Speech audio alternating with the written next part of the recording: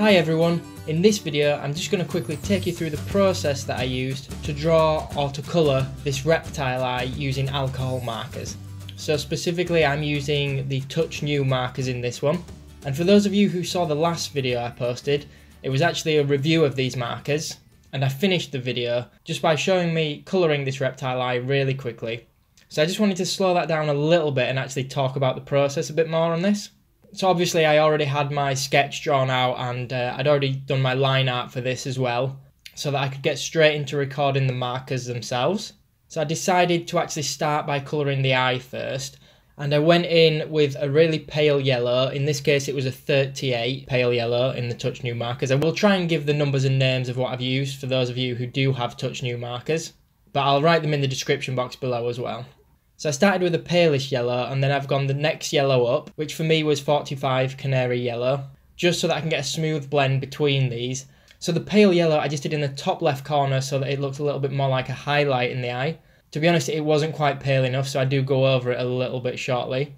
I also went in with a number 23 orange marker, just going around the very edges of the eye, and having my yellow marker at hand for this, I kept doing bit by bit, I would put some orange on around the edges, and whilst the marker ink was still wet on the page, I would get the yellow and in a circular motion try and blend those together.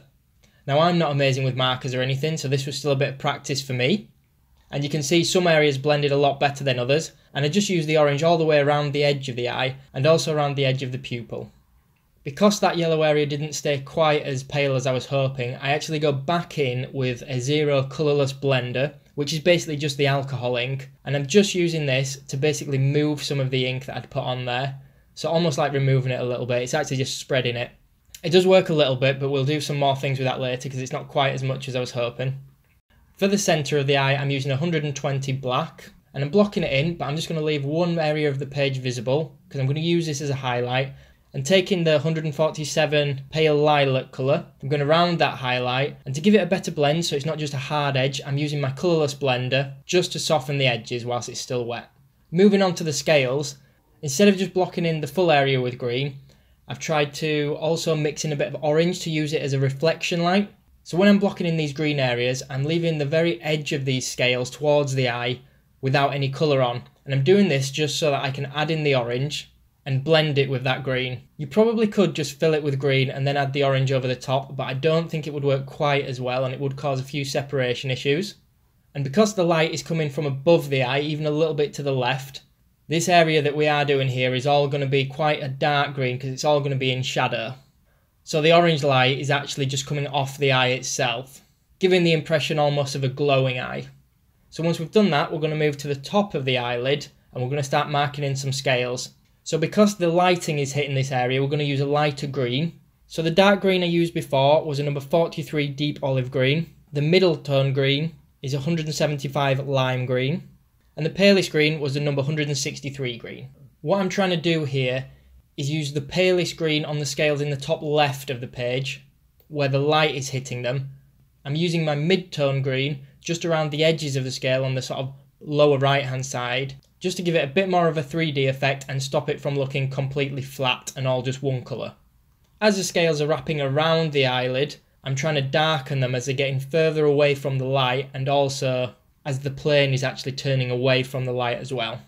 So I'm using the same technique, but instead of colouring them all with the lightest tone and then adding the mid-tone for shadow, I'm starting to actually colour them with the middle tone and use the darker tone from earlier on the edges. Some of them you can actually see I'm using the lightest tone in the top left of each scale, as if there's still a little bit of lighting catching those corners.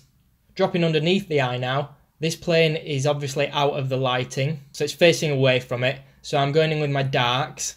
I do try to add a little bit of reflection light, but I think I end up colouring over that and maybe adding it in with pencil later.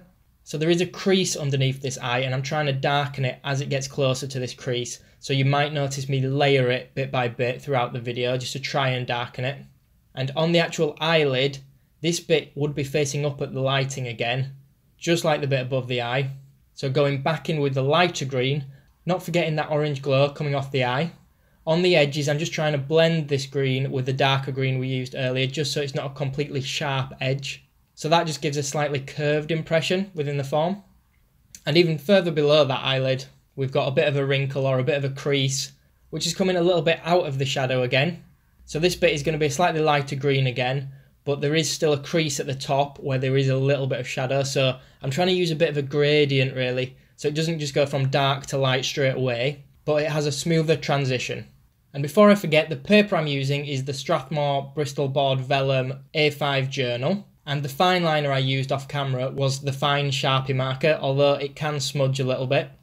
I'm just going over and refining bits now, so I'm going back around the eye, this time using a 5 Cherry Red, just to deepen the colour a little bit. It does mean I have to go back in with some of my oranges and yellows to give it a bit of a blend though. And it did get a little bit messy doing this, because there was quite a lot of ink on the page. But I'm showing a photo on screen now just to show what it looked like at this point with just markers because I was actually really pleased with the way this turned out.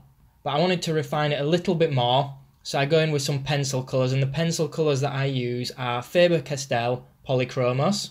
I'm actually going over the orange reflection light. I'm just going back in with a yellow and an orange, swapping between the two. But it's quite subtle this bit because I actually did quite a good job at getting this orange glow with the markers. And once I was happy with that, I'm going in with a white now just to touch the very edge of those scales and this is just going to act as a little bit of bounce light and it just refines the shape a little bit in that shadowed area. A paler green would have been better but I didn't have pale green pencil colour and it's only quite subtle anyway so it's not a big deal. Just refines the shape a little bit. I moved on to a darker red.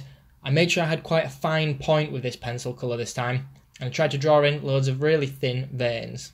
Now, at first, while I was doing this, I was actually a little bit worried that I'd gone a bit over the top and ruined it with this. But as I got more of them in, I was happier with the way it looked. Trying to get more of these around the centre of the eye and coming from the edges, but leaving it blank where the highlight is to give that glossy finish. And I did have a reference loaded up for this. Mine wasn't exactly the same, but it still helped. Going in now around those edges uh, with a red and a black, just to deepen that colour and up the contrast a little bit. I wouldn't normally advise shading with black as it can give quite a mucky look. However, I didn't have a darker red, so I didn't have much choice, but I only went in quite lightly. And I do the same thing at that crease underneath the eyelid, just to darken that a little bit more. Because that dark green I used with the marker was the darkest green I had. So yeah, just deepening anywhere in shadow with a little bit of black.